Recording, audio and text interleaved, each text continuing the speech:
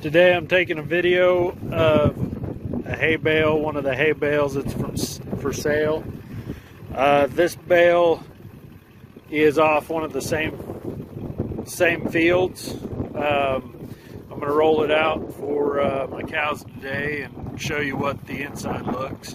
I'll lift it up here so you can see the bottom of it. This was baled this year.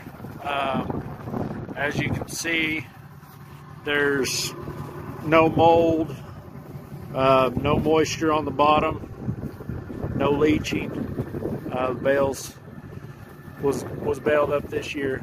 Um, I'll get this bale unrolled. Uh, it's got three wraps on it. I'll get this bale unwrapped and unrolled, and then I'll take a video of that.